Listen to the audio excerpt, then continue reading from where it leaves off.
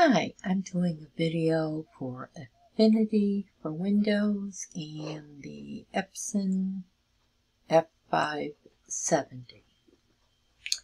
So we're going to start from the beginning and we're going to go to File and then New and under here are all your presets of your papers or what we call an artboard, which you're going to create on. And there's various ones. There's letter, there's legal, ledger, all these different ones. So I am just going to start with letter. So I'm going to click letter. And then you see on the right uh, is your paper width, 300 dpi and you can choose the format. Uh, prefer embedded. Uh, the color is always going to be RGB forward slash 8. sRGB IEC 61966-2.1 is your color profile you're creating with, not printing with. You'll be printing with Epson Profile. And I like to do transparent. If you want to do a white background, that's your choice. So we're going to do, I'm going to do transparent. I don't do anything with the margins or the bleed. And now we're going to create our workspace. And here it is.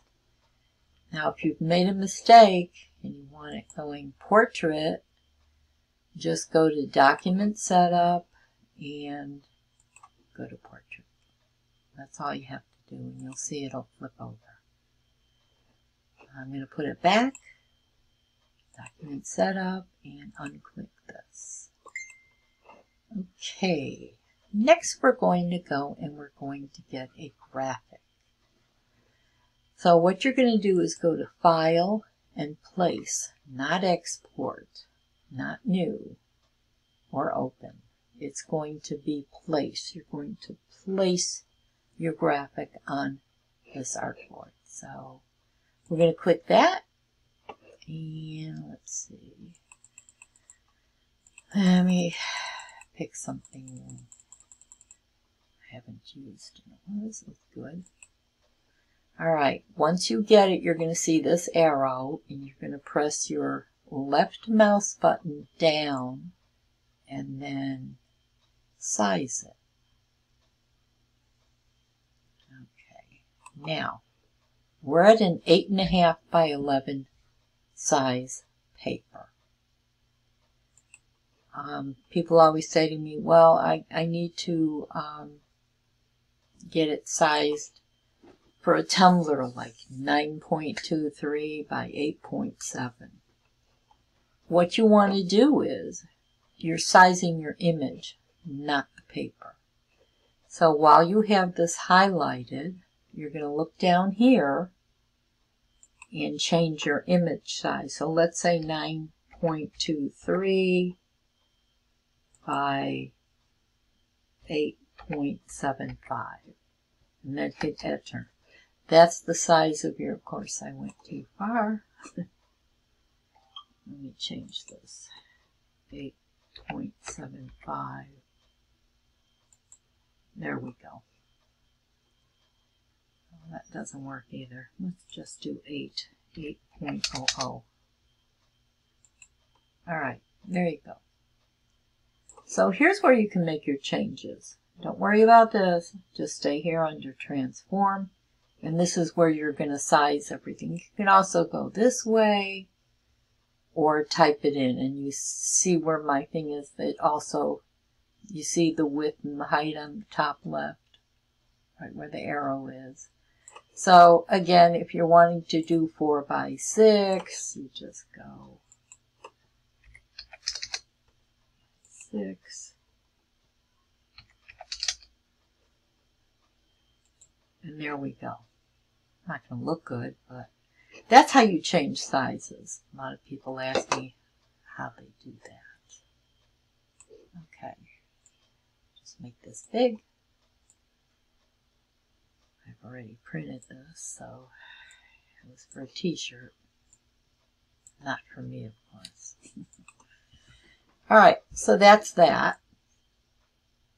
Now we're going to go through um, your setup. And these are very important.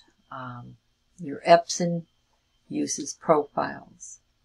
And there's two profiles, textile and rigid. Rigid. Rigid.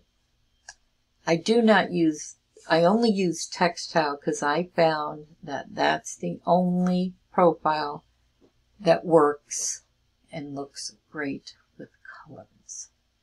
Regardless if you're using tumblers or soft substrates or hard substrates. My suggestion is to always use the textile. So we're going to go to File, Print, and we're going to pick our printer. By the way, make sure you only have one S500. Some people install it so many times they have three and the drivers are going to different printers. So that's another thing. A document, fit to printable, 100%, all sheets and automatic. Now we're going to go to the printer uh, settings. So we're going to go to properties and here is a big printer. What you want to make sure is your document setting is the same size. Like if you chose the 4 by 6 or a 9 by 12 or uh, like a tumbler setting, what you want to do is go to change paper size and go to user defined just in case or whatever you picked but they have to match. They have to match your paper settings and your affinity settings. So let's just go back a second. So I'm going to make this a weird size. So we're going to make it 7 by 6. So I can show you what I'm talking about. Okay. That's a user-defined size. So when we go to print,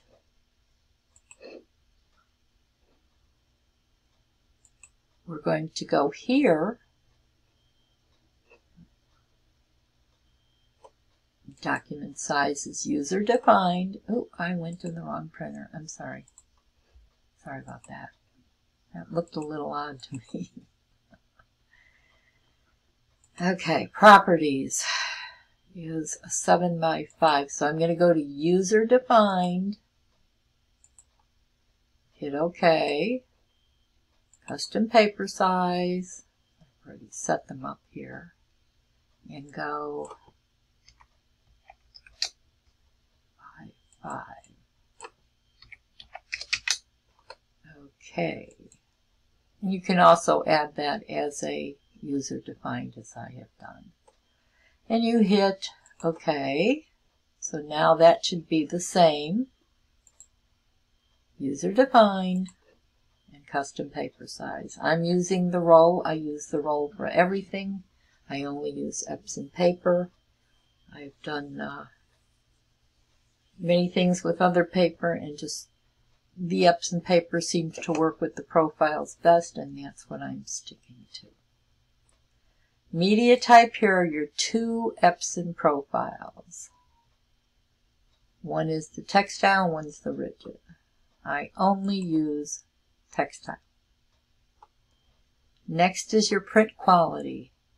Since you're using affinity, you are going to put no color adjustments. So it's going to be off because you're going to let affinity handle the color. Next, you have a choice of speed, quality, maximum quality, and quality options. Quality options is your quality. I've got it on the highest. So I actually pick maximum, which is the highest. Do not use high speed. You'll get marks all over your paper. Take it off high speed. Use finest detail And by the way, if you don't have these two, these are the um, profiles, you didn't install the Epson drivers. So you want to make sure you have these two. I, I do a print preview. You don't have to. Um, it's up to you. I like to see my mistakes. Next, we're going to go to Advanced. I don't do anything with this. Normal cut, auto rotate, save paper roll. That means um, if you set it to 5 by 7 it won't use the whole roll to print a 5 by 7 It'll chop, it'll cut it right where the 5 by 7 is. I don't do anything with these. Uh, some people do. I don't.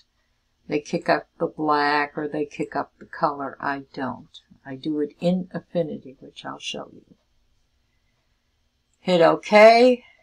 We're back to everything here. Custom settings I do nothing with. Layout I do nothing with. Again, this was printer settings. Now we're going to hit OK and go back.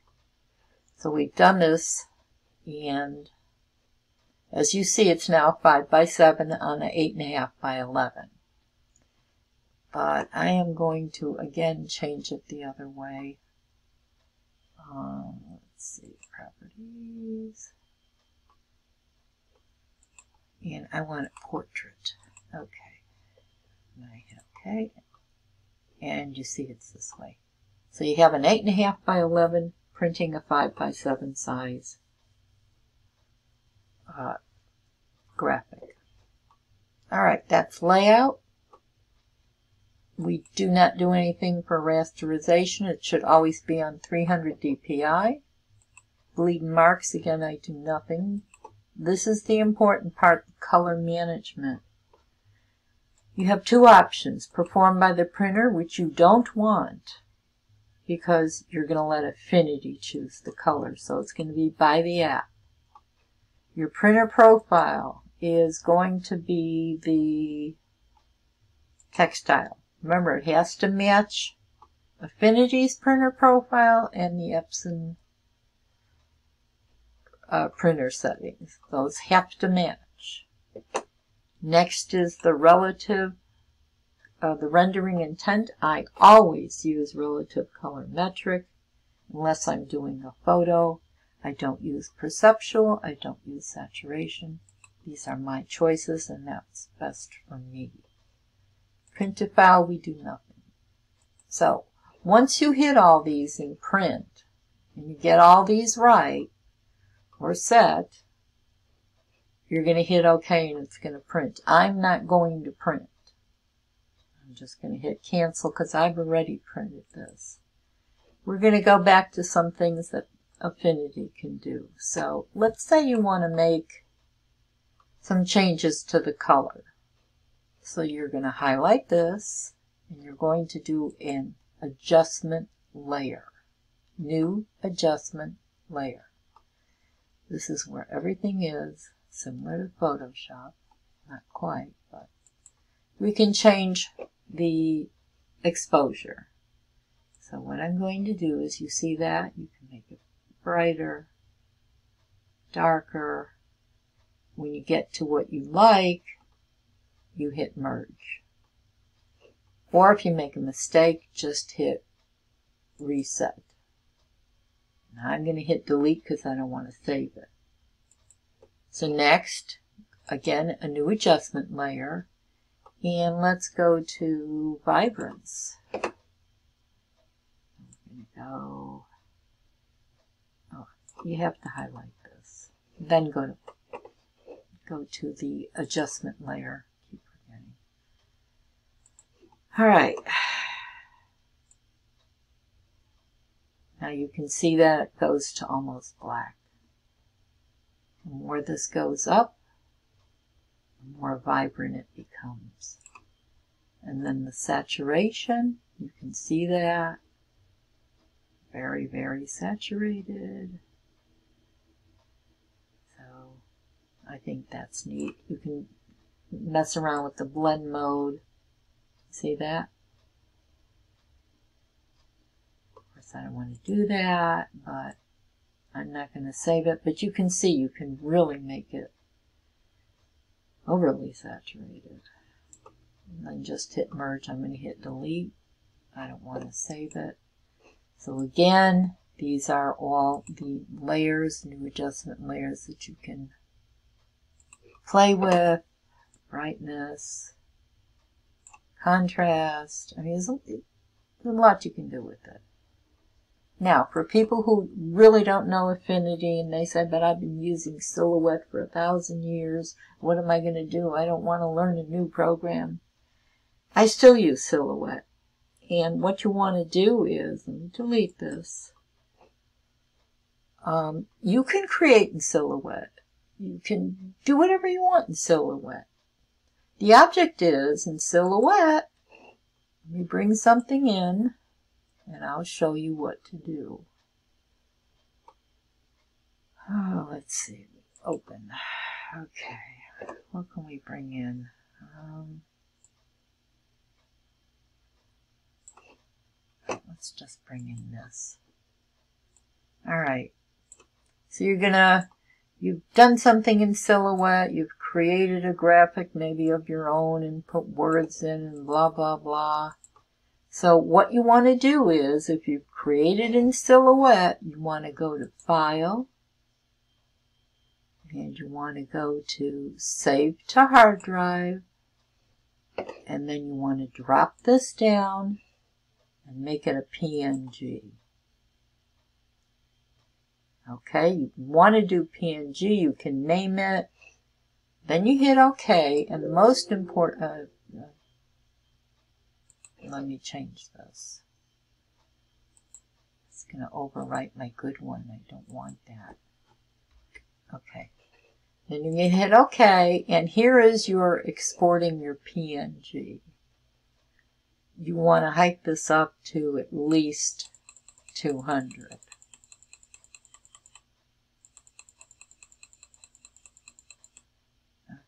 And then you want transparent background. What this does is save it as a PNG. So we're going to save this. I'm going to go back to Affinity, get rid of this. We're going to go to File, Place, and there it is. Okay, so you can still use Silhouette. The only thing you're going to use this for now is getting your true colors and to print. Now, if you want to add um, text, you're going to press the A and then start typing. Okay, now you're going to say it's very small. We're going to make it as big as we can.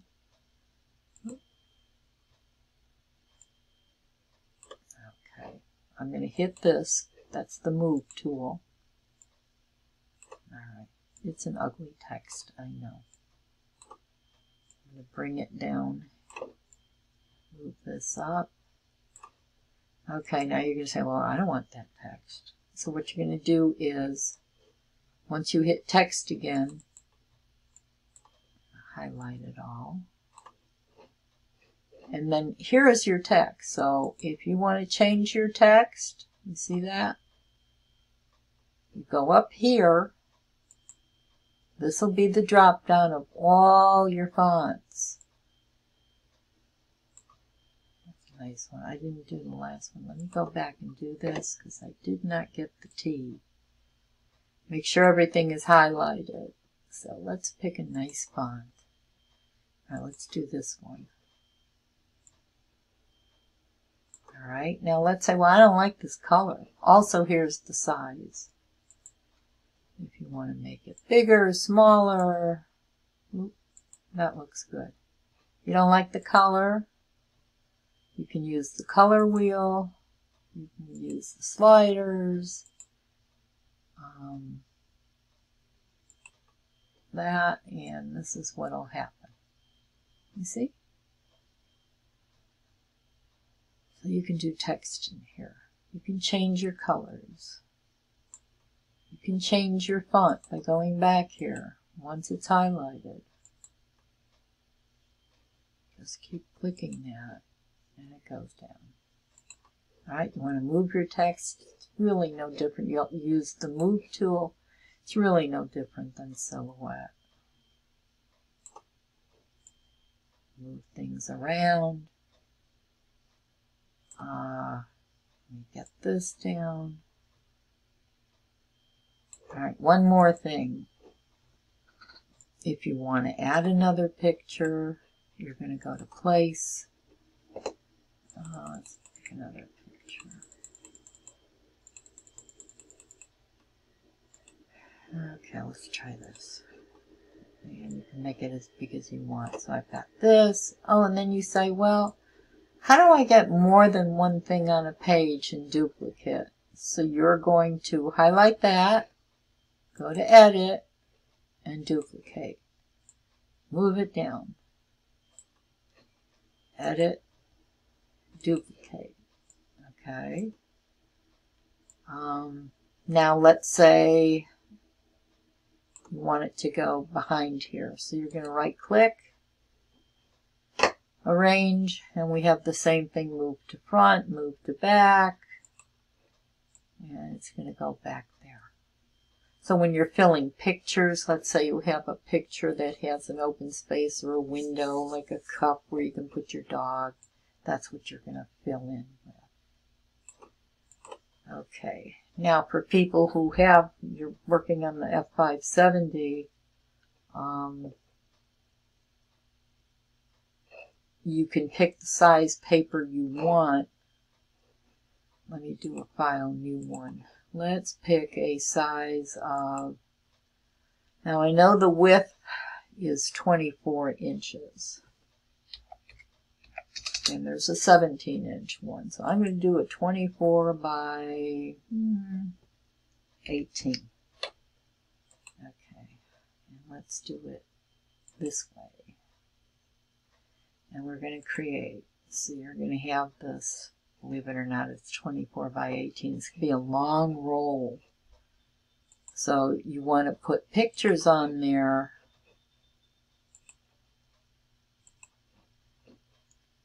let's see. I want to do several, because you're doing several tumblers or something. Now let's do this.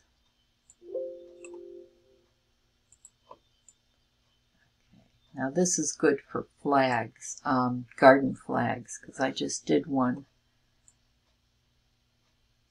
So again, you can measure the flag here. I think they're 12 by 18.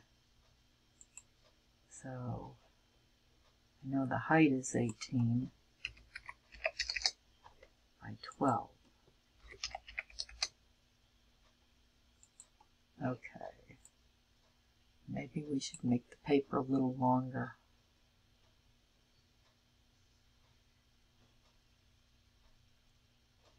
Uh, let me change the paper size.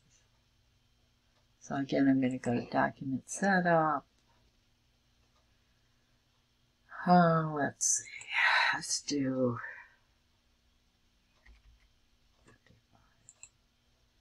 Okay. Okay, so now the paper is very big. Alright, so we're going to move this. And then because you have a double-sided flag, you're going to duplicate this one. Edit, duplicate. And you see it's 12 by 18. Or should it be 18 by 12? Think it's 18 by 12. Let me reverse it. I'm not even sure. Nope. It's 12 by 18.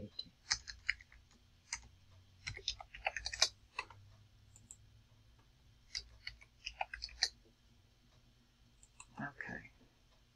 So the paper's too big. But that's how you would do it. I'm going to change the paper again. It looks way too big. Certainly don't want, I want to unlock that. So we wanted the 24 inch.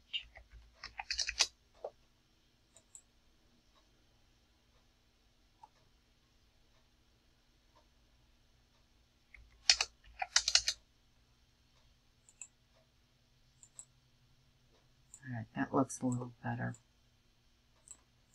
So if you're doing a flag, that's what you're going to do. You could also add some more stuff here. I mean, you have a big printer. You want to be able to utilize it. And I'll show you how it's going to look on the printer. Uh, let's see. What did we say the size of the paper was?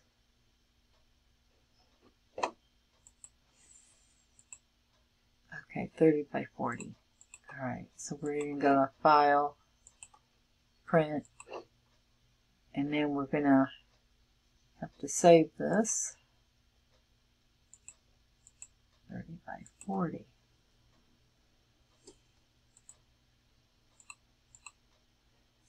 So the width is 24.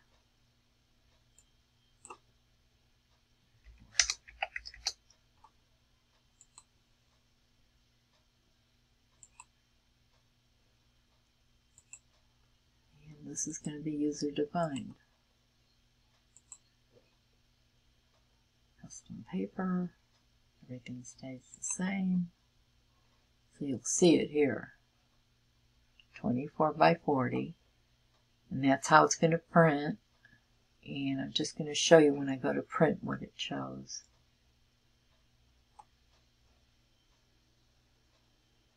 Well, I don't want to print it, but this is how it's going to look.